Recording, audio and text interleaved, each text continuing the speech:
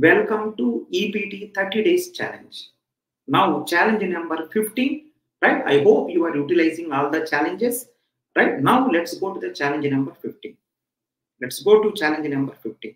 Given a, uh, right? Given a binary tree. Given the root of a binary tree.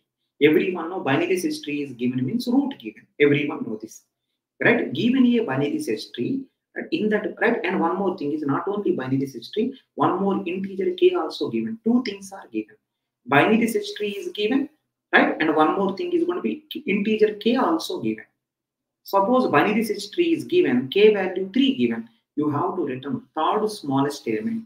See return kth smallest element. If i give k kth smallest element. If i give 3 third smallest element in the bst now, in this BST, if you observe, first smallest element, second one, third one. The third smallest element, so you have to return it, 3. In this BST, in this BST, I want to find out first smallest element. I think first smallest element is 1. I have to get 1. This is the problem. Now, try, try to solve this problem. Try to solve this problem. How? Understand what is BST. If you don't know, Google it out. What is BST? Google it out, you find out.